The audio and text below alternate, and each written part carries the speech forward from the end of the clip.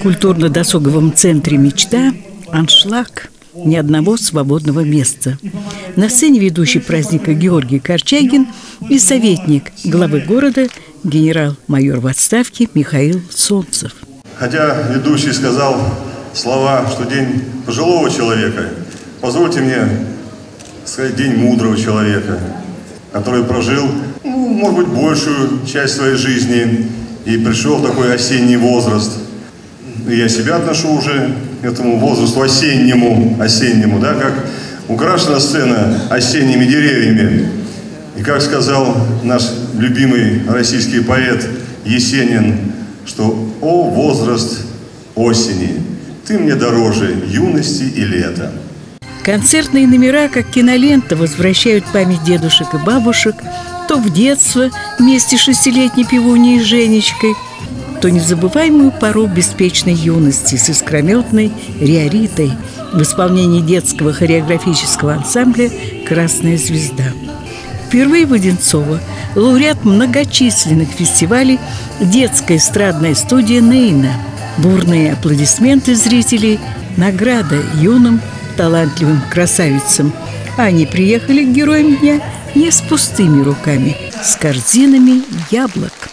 Были очень рады принять участие в этом прекрасном, замечательном, теплом празднике День пожилого человека. И всем нашим одинцовцам хотелось бы пожелать в первую очередь крепкого-крепкого вам здоровья, мирного неба над головой, долгих лет жизни и всего самого-самого вам наилучшего. Большое вам спасибо. Огромнейший подарок от администрации города – сольный концерт народного артиста России Заура Тутова.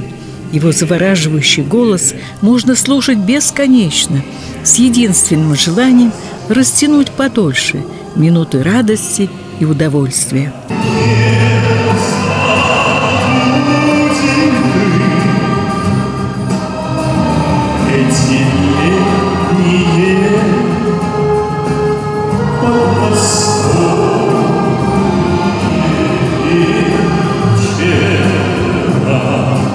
Как поется в любимой песне, трудно высказать и не высказать то, что было в эти минуты на сердце у каждого.